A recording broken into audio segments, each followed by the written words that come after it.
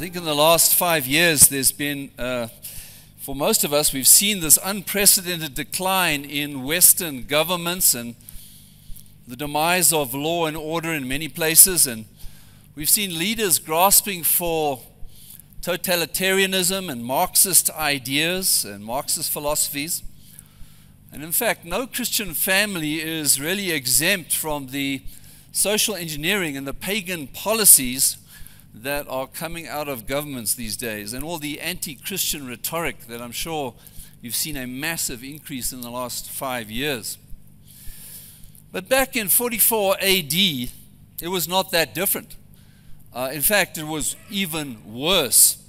James lives in a corrupt world of Roman totalitarian dominance, immorality, corruption, false teachers, and the small fledgling Christian church is experiencing massive Jewish persecution. And James is the leader of the Jerusalem church. He is the most significant leader at this time. And he writes 108 verses to his scattered and fearful flock. And he calls this new uh, Jewish Christian church the 12 dispersed tribes in verse 1 of James 1. And so James is the half brother of Jesus, and he was obviously infinitely qualified to write this letter. At this point, he writes probably as, as uh, this is the first letter you probably have in your, your scripture, your New Testament. And he writes over 60 imperatives on these pages, exhorting his scattered flock to live differently in the sea of paganism and misplaced religious fervor and persecution. And so the emphasis for, for James here is not so much for his Jewish listeners to become Christians, uh, but rather it's an exhortation for diverse people to be behaving like Christians in a new body called the church. Trials are inevitable, but how are they to live through these trials? That is the question. And so James covers several topics here in this short letter of 108 verses, and it's uh, totally relevant for us here today in Johannesburg, in South Africa, and it meets you where you are exactly at. He talks about praying and checking our motives in prayer, and he talks about not sinning. He talks about watching out for favoritism, being doers of the word, guarding our speech being submissive to the Lord. Be wary of the motives concerning riches, working on relationships and heeding correctives about healing. And James calls uh, his flock brethren, and this is a term of endearment used over 15 times, and so he identifies with his fellow believers in their painful trials. If you really want to know the crux of this letter, it really is in chapter 3, verse 8. You could summarize it as visible, wise faith. Visible, wise faith.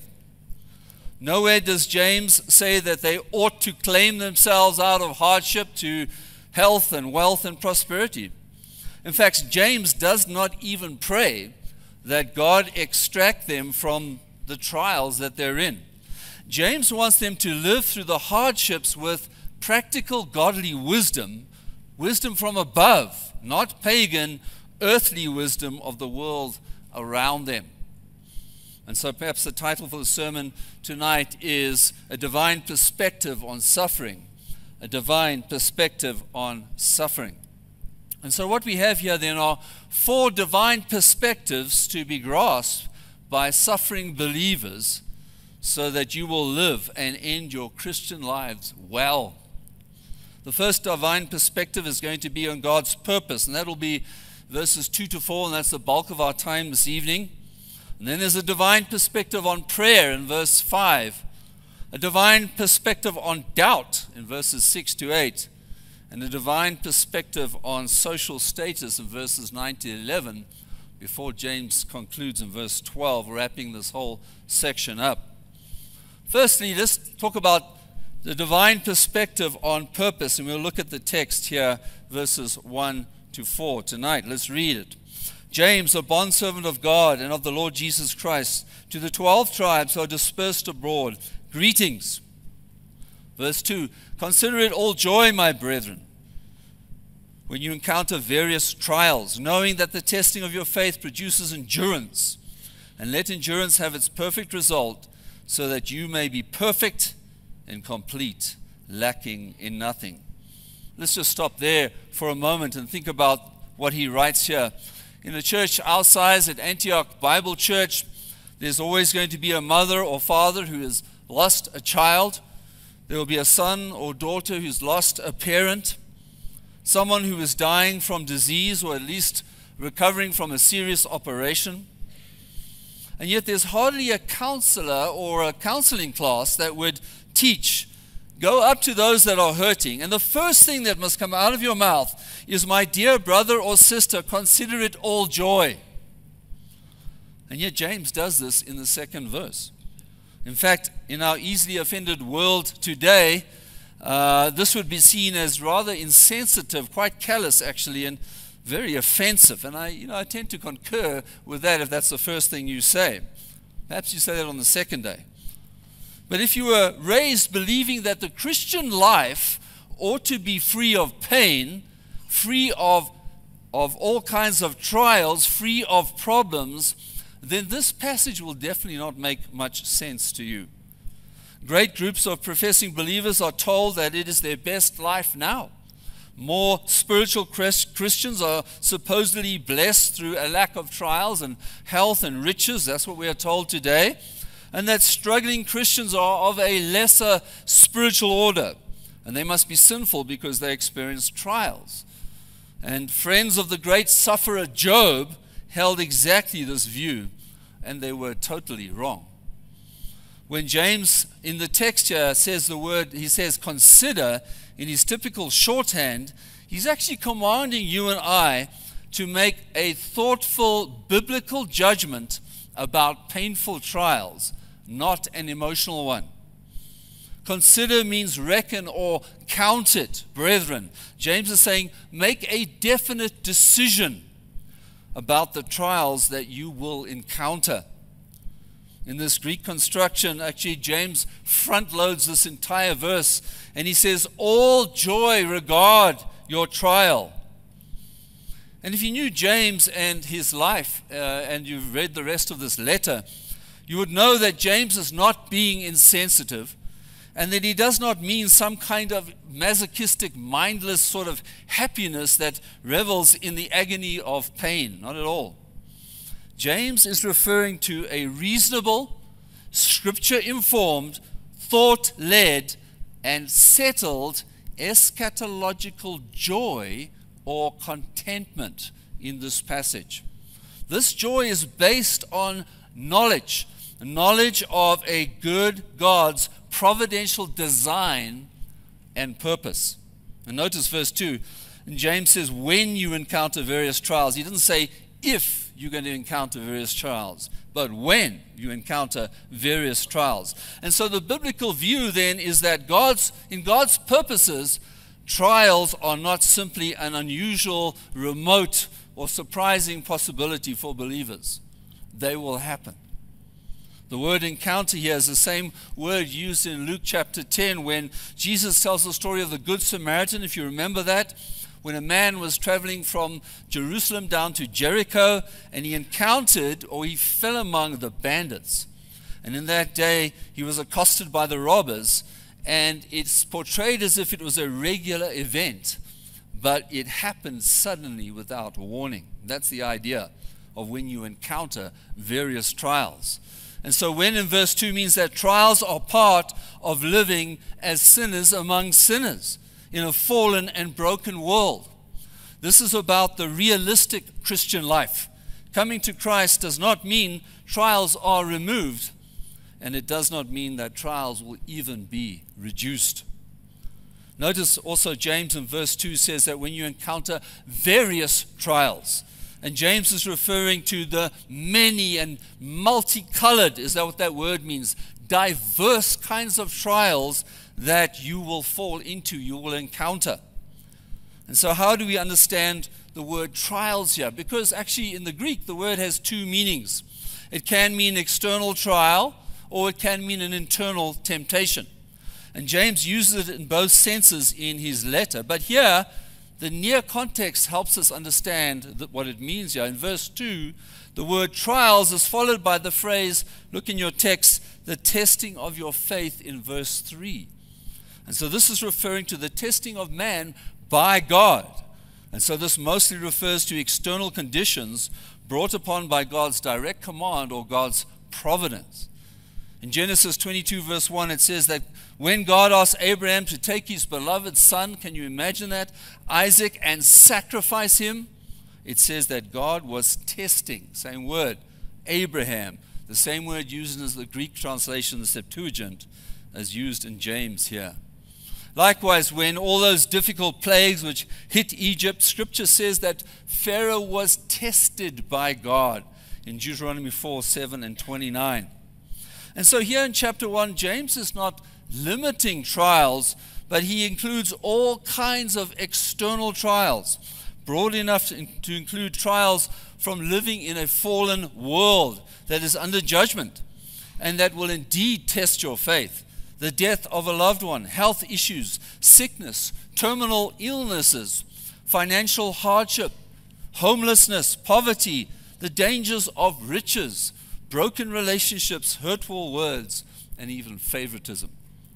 And now, this is important in verse 3. James says, knowing, note that there, knowing that the testing of your faith produces endurance. And so, when you put this together, James is giving us here really the right foundation for the right attitude through all the trials that you as believers will indeed encounter.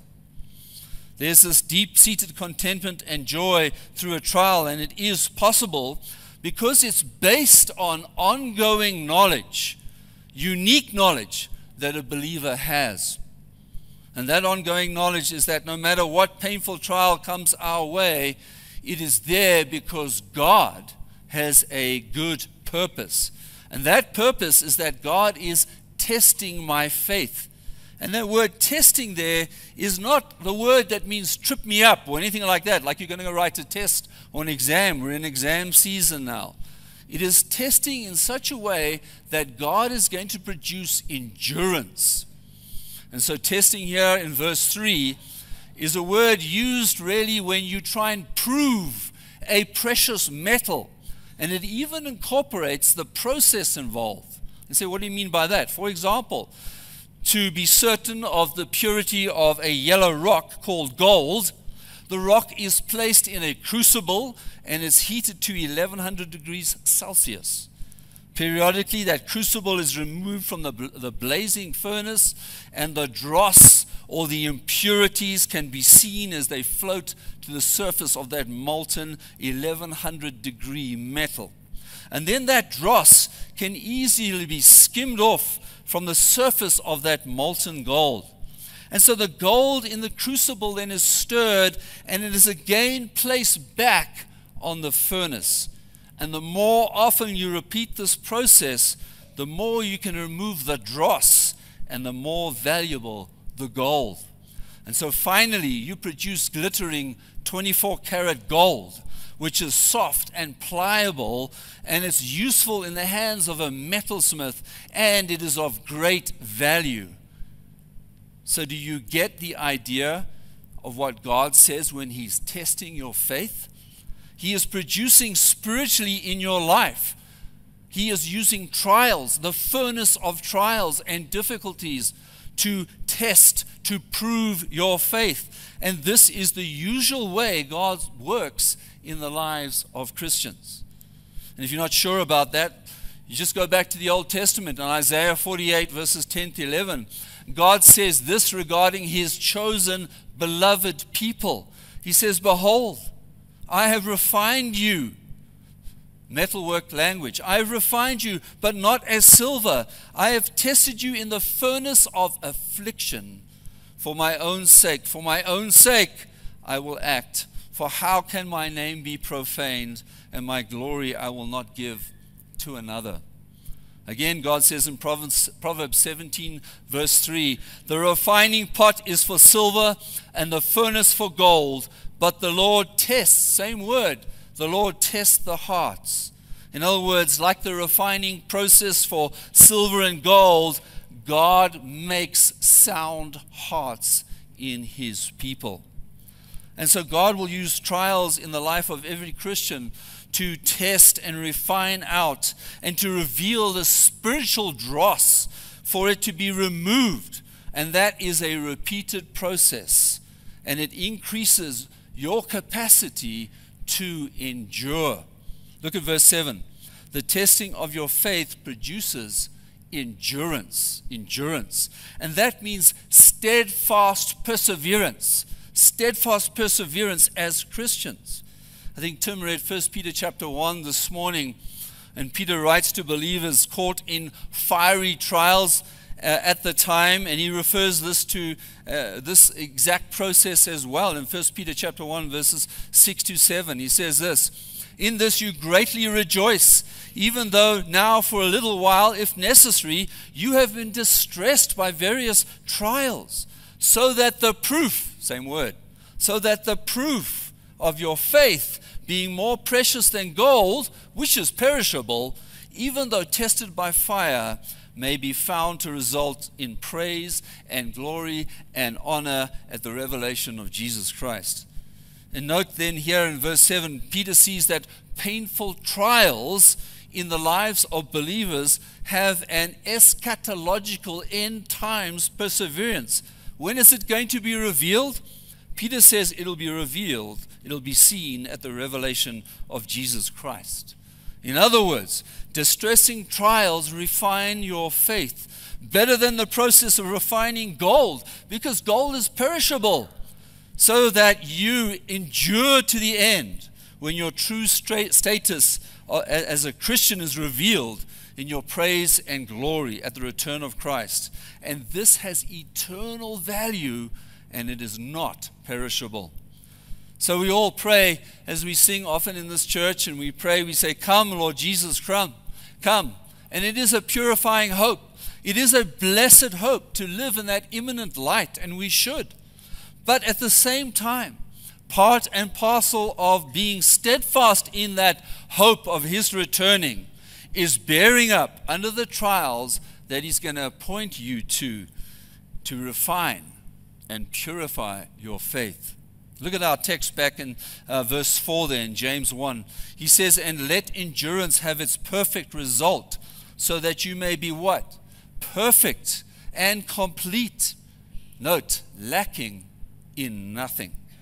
And so James is saying here, we need to keep, uh, keep bearing up under any trial that God allows in our life because God is using it to perfect us and complete us and make sure that we lack nothing. And from the text here, we say endurance, you see, is not an end in of itself. And so James is not saying that the end goal is the stoic grinding of the teeth, as if there's no, if there's some sort of spiritual value in that. No, he's not saying that at all. James says that bearing up under the trial allows God to complete his perfect result. And you say, well, What's that perfect result?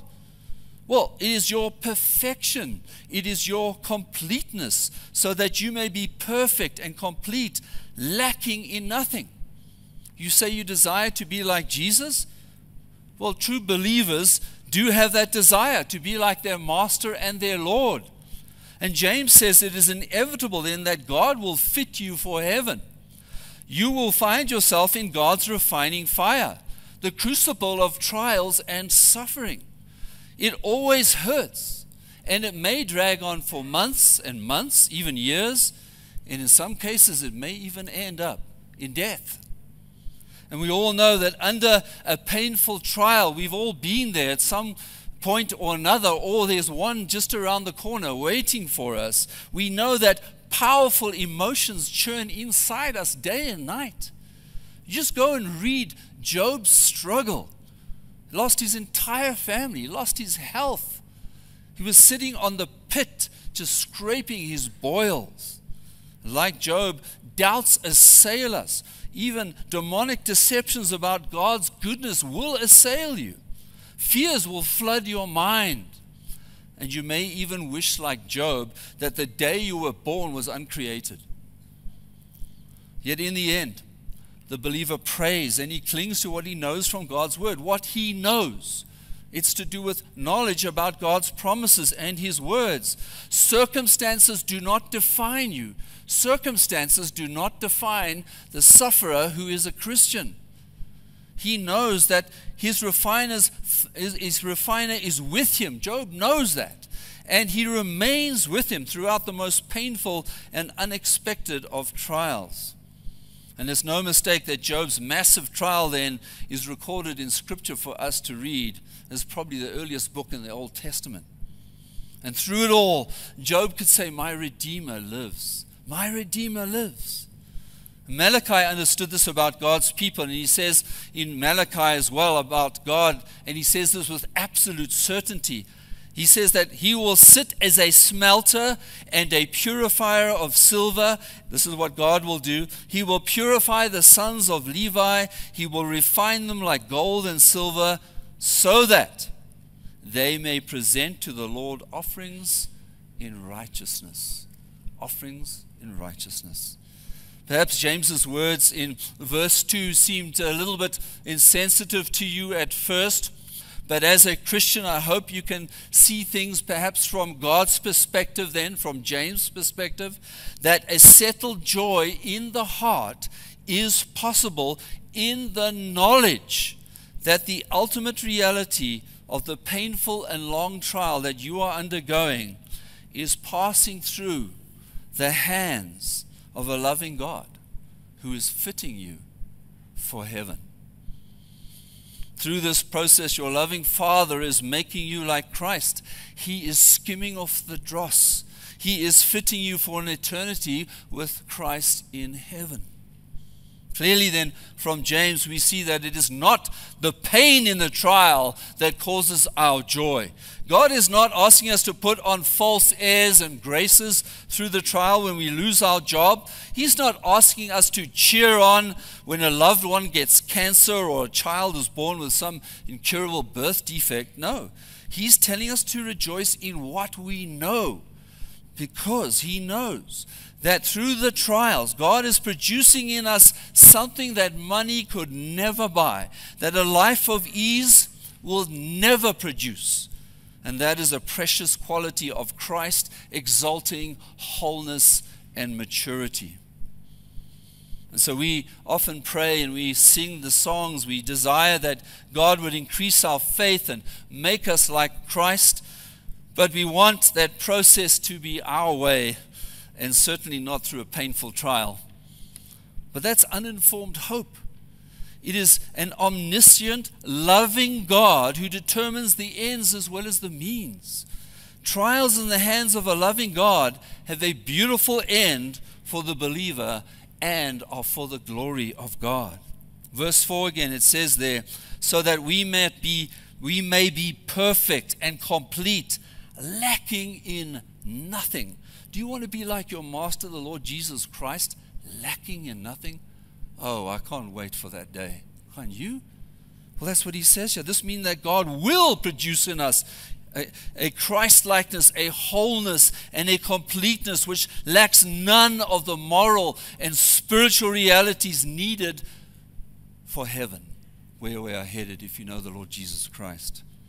And so this passage also makes us realize that the dross of our sin and the dross of our selfishness is so alloyed and tightly bound with our flesh principle that remains in us that we have to trust that a loving God knows the best crucible and the right heat to remove it and sanctify us and refine us in our faith and He will refine us into that glittering 24 karat maturity that reflects the character of Christ.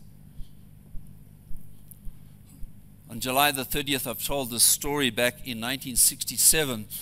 Age 18, she was an excellent swimmer, very familiar with the sea, and she dived off a boat into the Chesapeake Bay and she misjudged the shallowness of the water. And most of you probably know I'm talking about Joni Eareckson Tada. She suffered a fracture between the fourth and fifth cervical levels of her spine and became a quadriplegic. She is now 74 years old. She spent 56 years in a wheelchair.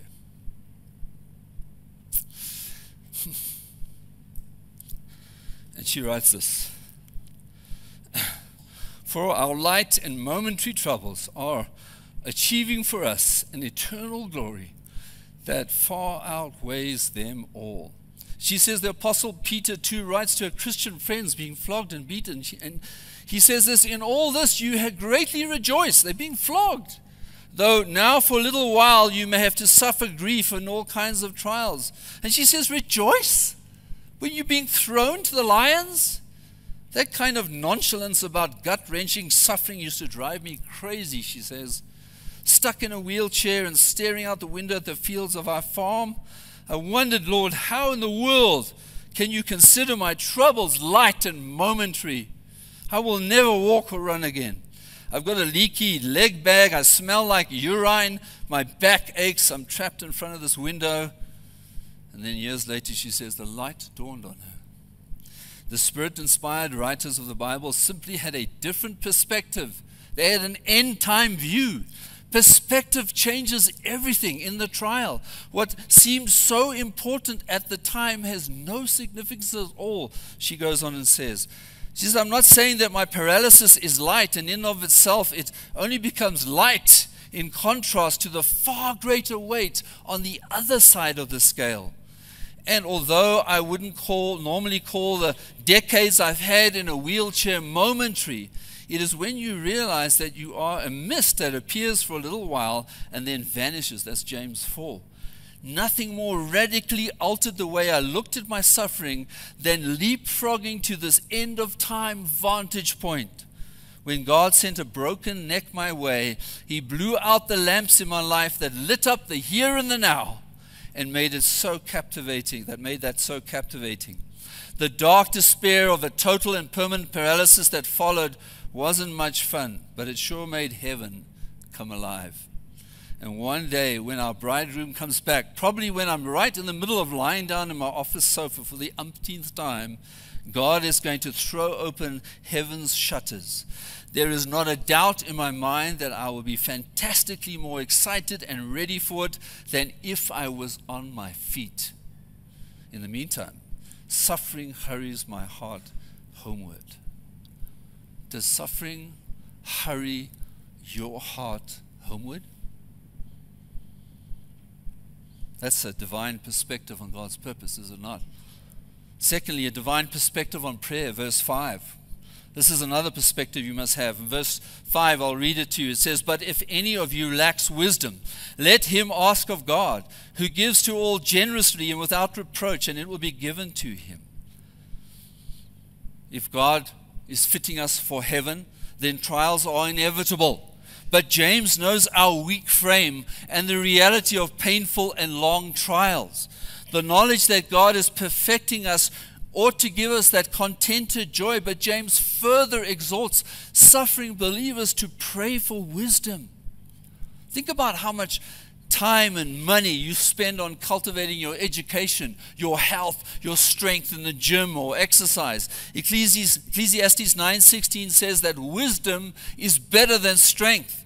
Ecclesiastes 9:18 says that wisdom is even better than weapons of war. When we fall short of wisdom during a trial, all kinds of fears and doubts invade our minds and even sinful thinking and sinful living and bad choices can, can be the result. And here in verse 5, James says we are not simply to ask anyone, but he says that we are to go to the source, the source of this unique wisdom, and that is we are to ask God. And the idea in this verb is that we are to make a practice of praying through the trial. Wisdom is necessary then to complete and perfect you spiritually and make you like Christ through a trial. And James, in these verses, he doesn't give us a, a, direct explanation of what this wisdom is. But in chapter 3, if you turn there quickly to verses, in verses 15 and 17, James contrasts this wisdom that he's talking about with earthly wisdom. In verse 15, he says, This wisdom is not that which comes down from above, but is earthly and natural and demonic. For where there is jealousy and selfish ambition exist, there is disorder and every evil thing. That's earthly wisdom.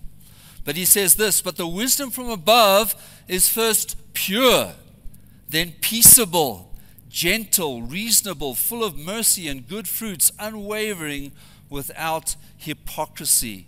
And so, for James, then, when he talks about wisdom, he's talking about the fact that it's divine, it comes from God, and it is practical. It issues in fruit, it brings forth fruit. You see the fruit there in verse 17. But the fruit of human wisdom is earthly, uh, even demonic. It produces disorder and chaos and unruliness and every evil thing. But spiritual wisdom, sourced in God, results in purity, peace, gentleness, reasonableness, mercy, good fruits, and no hypocrisy. And this is in the middle of a trial. Wisdom is not simply academic or intellectual knowledge about an illness or being able to recite a few memorized Bible verses, though those, those might be helpful things. The central point here is that the sufferer needs wisdom from God. As one writer said, wisdom is the endowment of heart and mind which is needed for the right conduct of life through a trial. And so the believer under painful trial then is exhorted by James to ask God for a mindset then that discerns God's will and correct perspective on his and her suffering. This perspective, then, this wisdom, then leads to skillful and godly living, enduring the trial in all goodness and fortitude. Look at verse 5 again. Notice how God gives wisdom to those who ask. James says, Let him ask of God, who gives to all generously and without reproach, and it will be given to him. And so, what happens when we encounter painful trials? Uh, often we will start with prayer and then the prayer becomes less and less. And from an ongoing divine perspective, James is encouraging the suffering Christian to be confident in prayer, to continue in prayer, to ask for wisdom. And you can approach God for wisdom because, firstly, it says there that God is a giving God. God characteristically gives to his children. He has, a, he has a beneficent character, and out of love, he loves to give. And then verse 5, secondly, it says that God gives indiscriminately. In other words, God gives to all. That means all kinds of believers without reservation, all who ask. And then, thirdly, to encourage prayer, James says that God will also give generously. And the idea is that full of liberality, a cup that is overflowing. That's how God gives. And finally, you see that God gives without reproach. And that means that God is not kind, some kind of austere, fault finding God, and that He gives, He humiliates those who He gives to, or He belittles them, or He reviles them, or He shames them if they ask Him. Not at all. One writer says that prayer substitutes man's weakness with God's strength, man's ignorance with God's wisdom, man's emptiness with God's fullness, man's poverty with God's wealth, and man's impotence with God's omnipotence. And knowing this, would you not want to unreservedly then approach God in your pain? The faithful Christian undergoing painful trials then is a praying believer. And James is not saying that the believer never asks others to pray for him. In fact, if you turn uh, over to chapter 5 quickly, verses 14 to 16, you can see there that in verse 14 of chapter 5, James says, Is anyone among you sick? Well, then he must call for the elders of the church, and they are to pray over him, anointing him with oil in the name of the Lord. And the prayer offered in faith will restore the one who is sick, and the Lord will raise him up. Effective prayer of a righteous man can accomplish much. So, what you see in your Bible here, in one of the earliest letters in the New Testament, even in chapter 5, is the importance of a local church. James does not, does not see healing vested in some kind of itinerant person who's running around with magical power. James sees this corporate aspect of suffering and commitment to the membership of a local body, and it makes sense then for elders to know who they're accountable for and who they ought to pray for. You are part of a spiritual body, the body of Christ. You are not an island stoically suffering on your own. Commit to the church. Speak to the elders and leaders of the church. Ask for prayer. Ask for prayer in your small group or the men's group or the ladies' Bible study. Pray for one another, James says. God is still a healing God. If it's His will to heal, He will heal. And so James encourages us then to have the right perspective on suffering and prayer.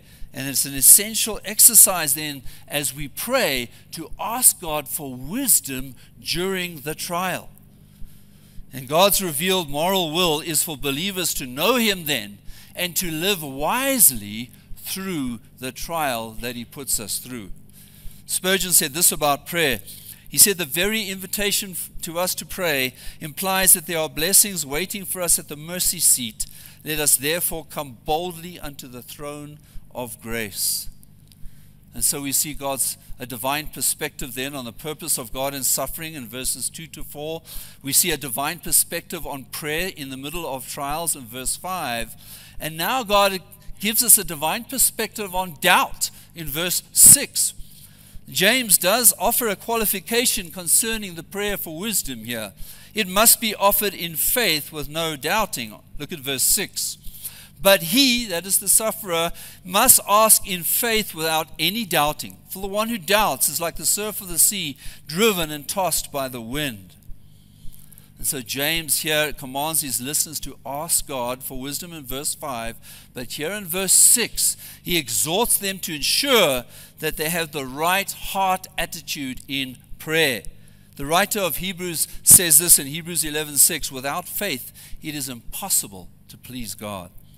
Now some of you face very difficult circumstances and trials, and when that happens, we start in the beginning usually praying but as the trial becomes harder and harder and longer and longer, we become prayerless. We also we, we almost become faithless. We allow our minds to fill up with doubts about the promises and the character of God. And James knows this. And he clearly states that believers must ask in faith without doubting. And this doesn't refer to initial faith at salvation, but the idea of continuing to trust in God and His character and His goodness and His generosity throughout the trial. And so James's concern here is that his people don't develop a duplicitous frame of mind or heart that is divided the disciples were told by Jesus when they prayed that if they would never doubt, but would have faith, a mountain could be taken up and cast into the sea. And the people of God, Israel, is a prime case, really, as we look at the history of Israel, the history of Israel, for their doubting. Many times, Moses warned Israel about doubting God's character and his promises and disobeying him. In one place, Moses says this in Deuteronomy For the people of Israel, the result of disobedience to the law of God was that your life shall hang in doubt before you. Deuteronomy 28 66. The idea is that doubt leads to disobedience and a trembling heart and despair in their souls, so that their entire lives and in their minds hang in the balance before them. But then there are examples in Scripture for us to imitate as well. Scripture shows us that Abraham, who was not perfect uh, and, and, and fell uh, repeatedly to the fear of man, uh, on occasion, uh, he, he never doubted. He never doubted God's promises in his own soul. In fact, Paul in Romans 4 20 to 21 says this about Abraham.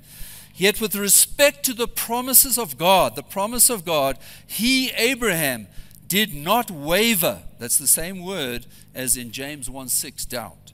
In unbelief, but grew strong in faith, giving glory to God, and being fully assured that what God had promised, he was also able to perform. And so James illustrates this point in verse 6 to make his point clearer. And here's a picture of a doubting Christian right here. He says, He is like the surf. Look at that text, being churned about tossed all over by the storm and the wind, going this way and then changing suddenly, and you can imagine blowing the other way and then changing again. And we're certainly reminded of Peter from this morning stepping out of the boat at Jesus' command, and he steps out in faith. And then he allows fear to grip his soul and he focuses on his circumstances. He doubts and he takes his eyes off Christ and he only sees the wind and the waves. In Matthew 14, we heard that this morning. And Jesus diagnosed the root of his doubting as little faith. Little faith. And what a beautiful picture that Jesus still reaches out and grips him tightly so that Peter does not sink below the waves. And then James warns believers here in verses 7 and 8 in our text For that man ought not to expect that he receive anything from the Lord, being a double minded man, unstable in all his ways. Another way to translate John, James 1 8, double mindedness is a double souled man. He's unstable in everything he pursues. And James is saying that if this is the picture, this wind tossed surf, if that's an accurate picture of your faith, in God's character and his promises. And you, you, you are praying to God and you expect God to respond to your, your prayer. James says, rather, in fact, you should not expect anything from God. And so James is dealing with a sense of entitlement here. And if you think about it, we've left Johannesburg many times. I'm sure you have to fly to other countries, and we've flown to the United States and over the uh, eastern coast to India. In fact, the flight of the Indian Ocean and the Arabian Sea is one of the most turbulent flights you can take uh, at all in the world today. And the airplane is often, often buffeted, is thrown to and fro. And, and I've been in that plane and it's just dropped. And it seems like a lifetime before it's going to start flying again. And it's, it's, it's kind of a terrifying thing. But what is amazing to see is how many people around you whose mouths, when you took off, were full of bad language. And they start praying to God that God will keep them safe. But that doubt still exists. And this is what James is talking about this presumption and entitlement. Uh, yes, it might be likely that in this aeroplane they're mostly unbelievers praying to their idol, and I would hope that not believers. But if you, as a believer, ever pray and doubt God, then James would refer to such professing believers as double minded. Double minded. And that's an interesting term because only James actually uses this term in the New Testament. It means it, it relates to an internal heart issue. He's referring between this division within a believer that brings about inconsistency or a wavering attitude towards God, His character, and His word. And James says you can see this person on the outside. How can we see him? Because it says this person is unstable in all his ways.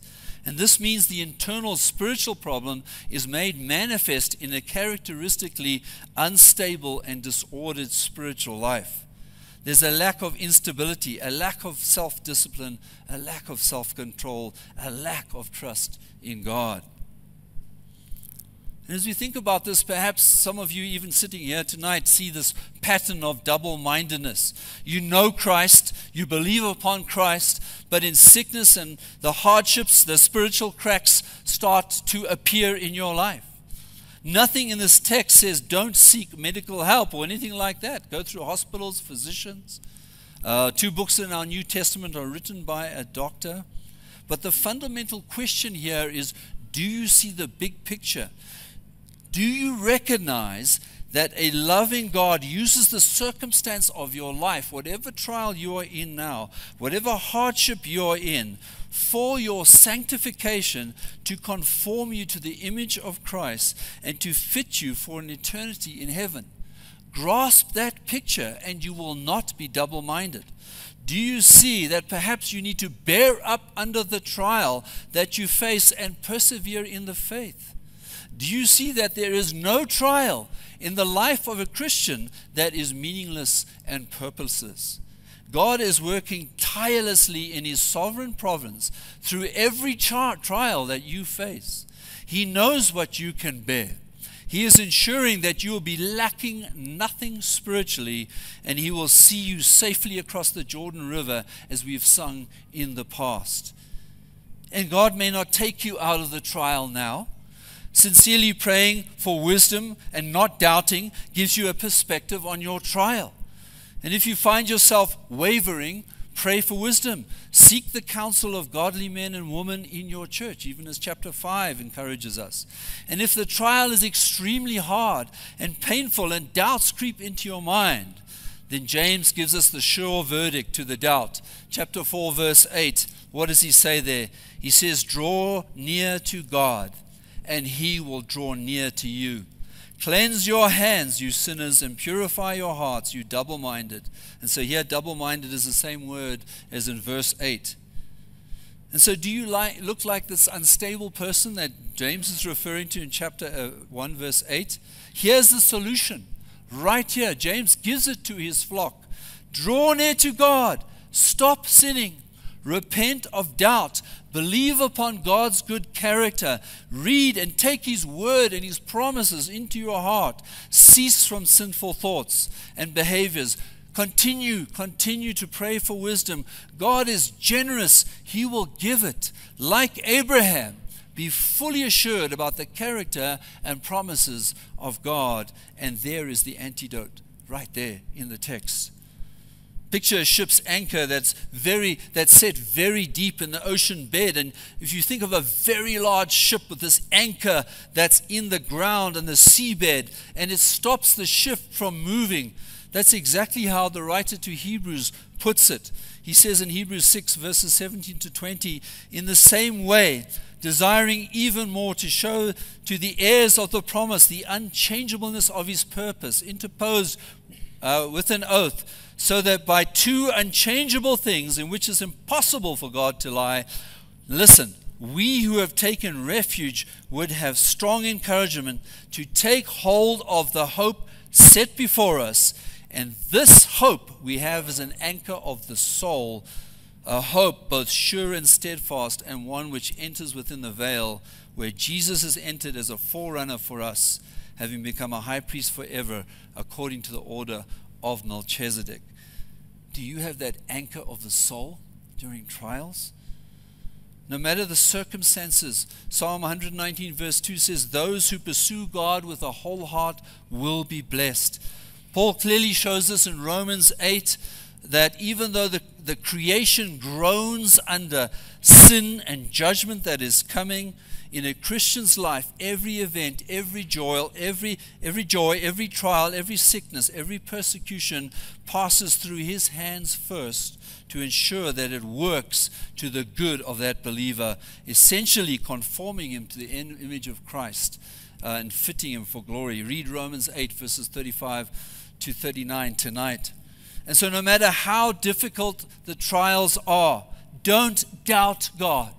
Don't doubt His character. Don't doubt His promises in any way. Let that purifying hope in God reign supreme in your heart. Let it be an anchor for your soul.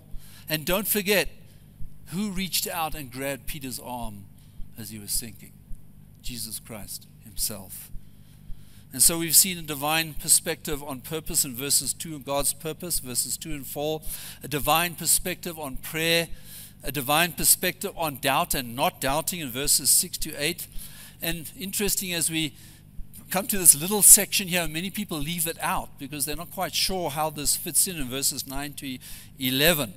And so verses 9 to 11 kind of throw us out here. So um, I want you to just look at that yourself and read that as I go through it. But sandwiched between endurance through trials in verses 2 and 4 and this final perseverance in verse 12, James highlights the necessity for believers then to look beyond their economic conditions and gain God's perspective even on their spiritual status, their social status. And so, just to be, to be clear, as we look at these verses here, God does not condemn hard work and the wealth that comes from honest and legal business practices and clear innovation. And Scripture encourages property ownership and hard work. And Scripture condemns the sluggard and those who are lazy. And we see the testimony of the lives like Job and Abraham and David, very wealthy men. And even the rich man Joseph is mentioned in the New Testament, and he selflessly provided Jesus his own burial tomb. So, to thrust some kind of liberal socialist agenda on the book of James would be gross eisegesis and totally missing the point.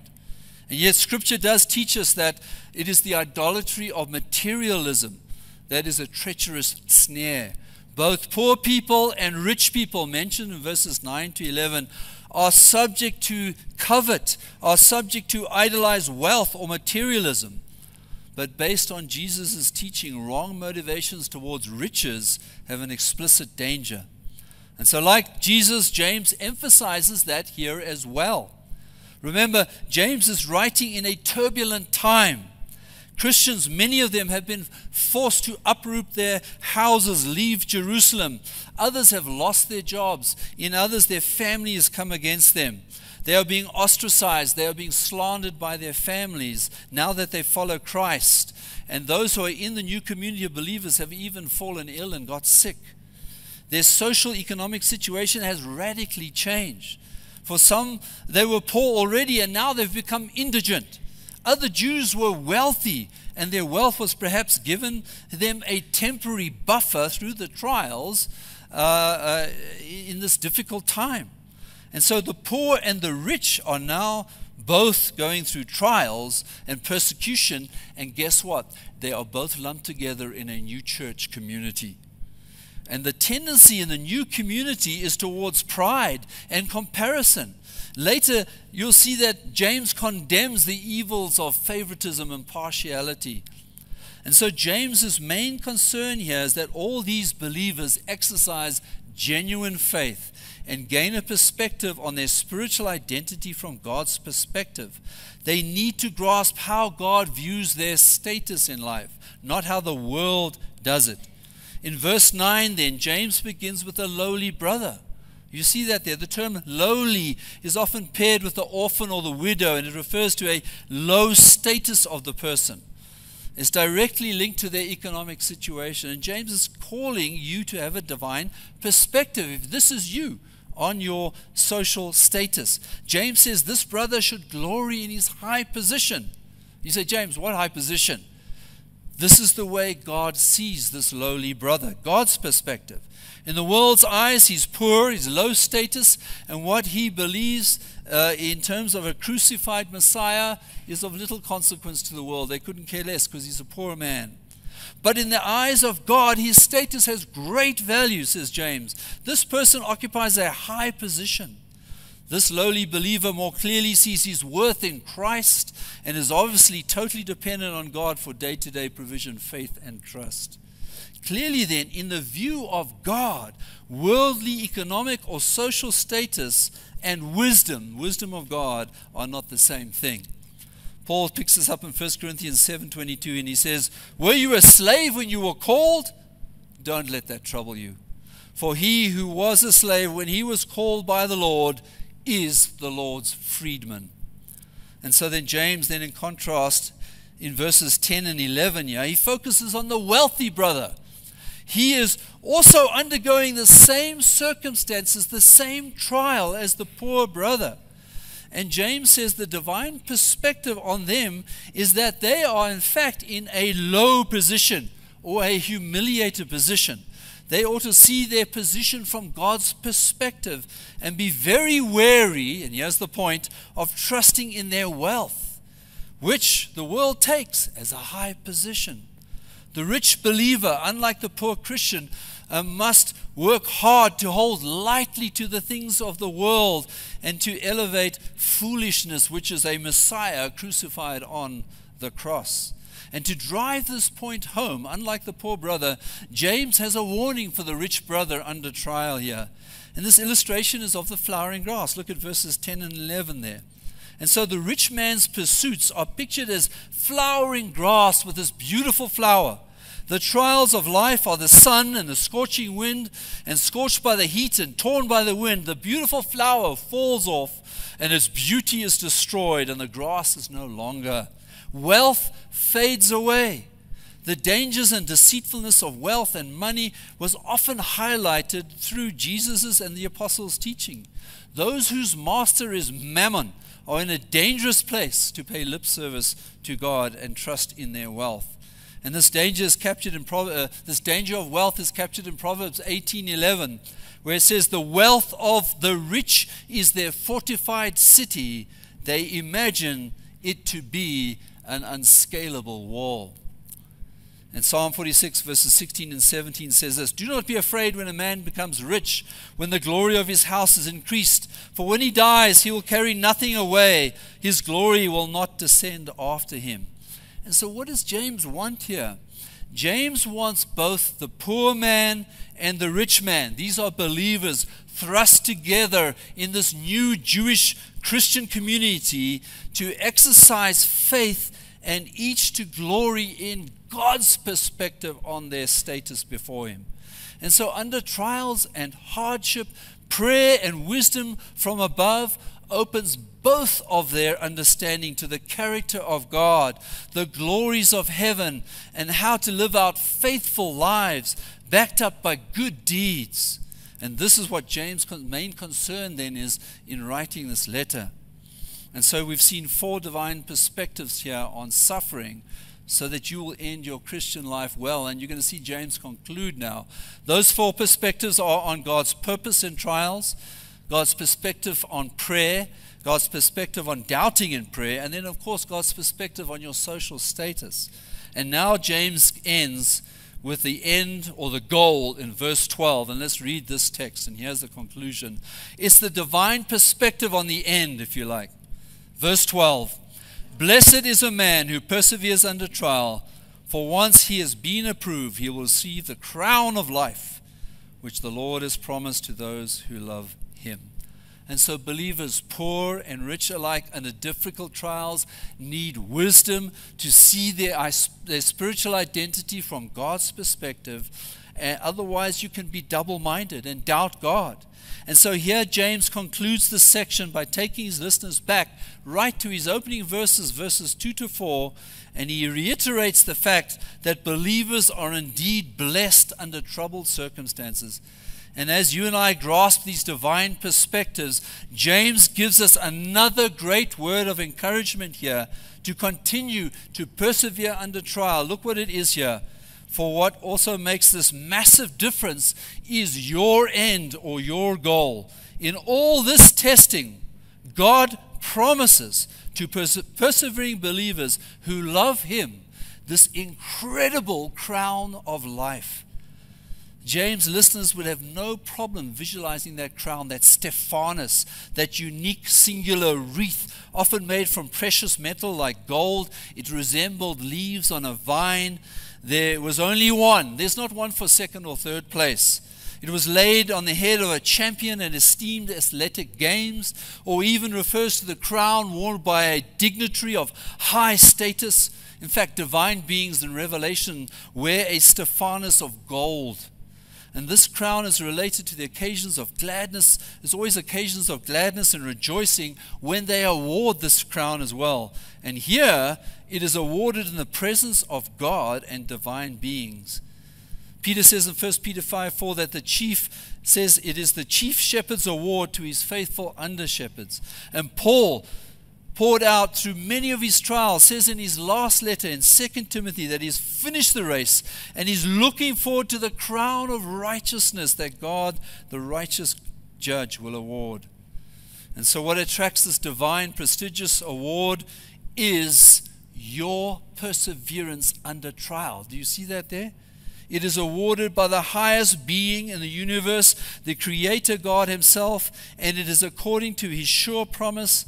And notice in verse 12, it is to those who love God. Many believers think about the problem of pain, but few of us pause to think about the problem of happiness. Why should a holy God give restful days, a happy home, healthy children to sinners like us. How I should love him for his blessings. And likewise, it is true that it is true that hardships cause us to draw near to him. And uh, he is to ask us, Do you still love me in the end? A young husband once said after his wife finally and tragically died from a terrible lingering cancer, It must be that the Lord still has something for me to do. Else, why has he left me here? And someone replied, He has not left you to do anything except love him still. Let's pray. Father, we just thank you for these divine perspectives on suffering. And I pray for each believer here tonight that they would see your purpose through the trial or struggle they may be facing. That they would pray for wisdom, that they would pray for wisdom without doubting. And that, Father, no matter their social status, that they would realize it's not dependent on whether they're poor or rich to gain a divine perspective on their suffering. But, Father, that they would gain your perspective. And in the end, Lord, we just thank you for this crown that you will award us one day for persevering and enduring and bearing up under trial simply because of your promise. And so we thank you for that. And I pray for each one here tonight that they would be encouraged then as we face uncertain days in the days ahead. I also would pray, Lord, if there's any person here tonight who does not know you and realizes that their doubting and wavering mind is possibly linked to the fact that they have not committed their life to you. They have not received and believed upon Lord, the Lord Jesus Christ. Lord, may you make that clear to them tonight. And may they receive you and believe upon you. May they repent of their sinfulness and put their faith and trust in you. And so we commit this to you tonight. In Jesus' name, amen and amen.